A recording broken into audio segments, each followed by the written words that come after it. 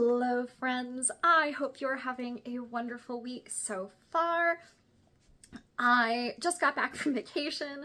I am getting ready to go out on travel again, so I am trying to shoot some content um, because it's been a while. It's been a while. Life has been busy. But uh, today I am going to be doing a look with two Petal Soft scarves. Um, I'm doing this because Wrapunzel is uh, getting ready to run a sale. Um, presumably I will put this up once that sale is actually active. Um, but yeah, if you don't have a Petal Soft scarf, this is them. They have that beautiful, soft, kind of crinkly texture. They have little, little um, wispy bits on the end. I hesitate to call them fringe because they're really not. Um, but they're wonderful. They're very lightweight. They are very like soft, pleasant to wear. Um, they're really easy to build volume with if you want, but also if you want less volume, um, they're pretty easy to tame down. So yeah, I'm to be showing off a look using these two. Um, this look, I actually, it's not an original creation of mine. Um, this comes from a YouTuber. I'm going to link her down below. I think her name is Irene. Uh, and she puts out head wrap videos at a rate that I can barely even begin to comprehend. She is extremely prolific. And a lot of them um, are more African style geles. They're meant to be done with fabric that has a has been stiffened. Um, but also a lot of them are with the type of uh, fabrics that I use for wrap. So this is a wrap that she did. I'm doing mine a little bit different than hers. I'll link her and her videos below. I always recommend following lots and lots of different creators um, who do head wraps because you never know where inspiration will come from. So uh, as you will see, this one has a little bit of a gele type feel to it, but not quite. So I am going to put this on a little bit unevenly.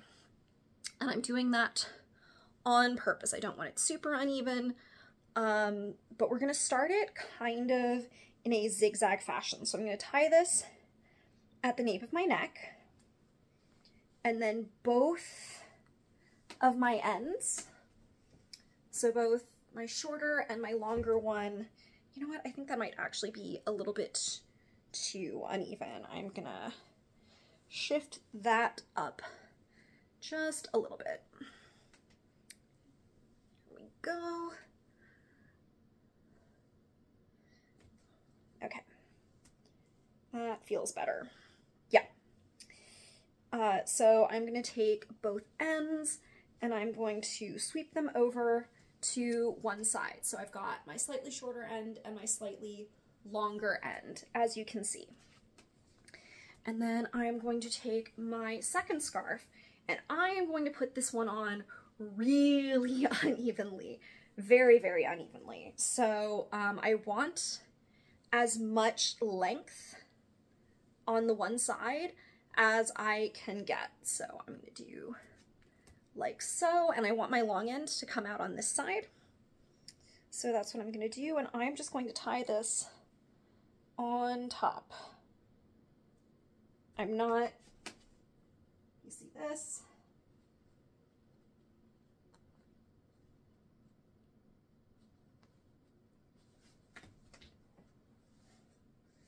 There we go. I don't want any of that. And then I am just gonna bring this end just kind of up and over a little bit flat. I'm gonna bring it forward because um, the idea is going to be for me to cover it up with the next thing that I do. I really just kind of want that like smooth down. So now once I get that sitting the way I like, I'm going to take the shorter of these two sides, gonna fold in that edge, and this is going to come up and over to begin that zigzaggy type pattern. And I'm going to make sure that I cover up the light blue scarf as much as possible. If there's a little bit hanging out over here, I'm not worried about that. but I really don't want it super hanging out. And then I have an itty bitty tail, which I'm just going to tuck the shorter bits in.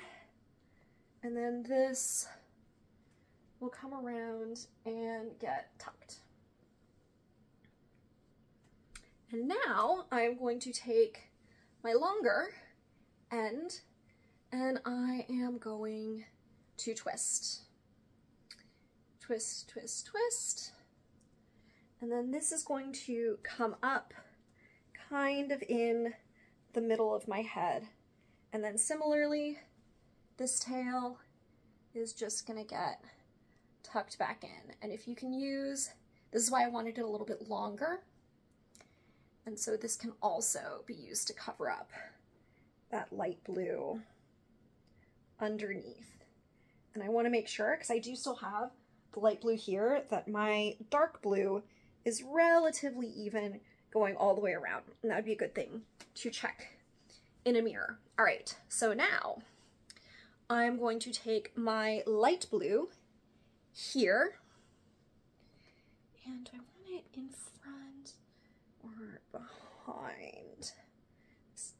I think it might go better if I pull that through so that I'm starting a little bit behind. I think that'll be better. We'll find out. And I am also going to take this and start twisting it. And so when she does this, she lays it right on top of that other twist. So I've got, it's a little hard to see that I've got it sitting on top of that blue twist. And as I get over here, I am going to start wrapping it around. And so I'm going to take my top hand here and use that to hold the scarf in place as I start wrapping. And at this point, I don't want it twisted anymore. I want to make sure that it's really unfurled. And I'm going to keep wrapping this. And you want to wrap it loosely. The looser you can wrap this, the better it will look. Okay, the more dramatic the final result will be. go. Again, wrap it around, keeping it nice and loose, double checking to make sure that everything is staying where I want to over here. It actually, I wore this around the house just to test out, um, and it does stay put pretty darn well. I felt like it was quite secure. I'm going to wrap it again, and then I have just like this little itty bitty tail, which I will wrap one more time, and then just tuck in back here. So now is the fun part. We are going to go through and floof.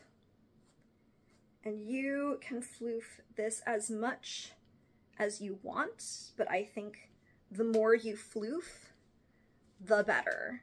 That's really what this look is for. It's for playing with the type of volume that you can get out of this scarf. So I'm really trying to spread it out as much as I can. And I just thought that that was so fun. And it really, this is a wrap that feels like a crown. And so it's really good with the, um, like the Petal Soft scarves.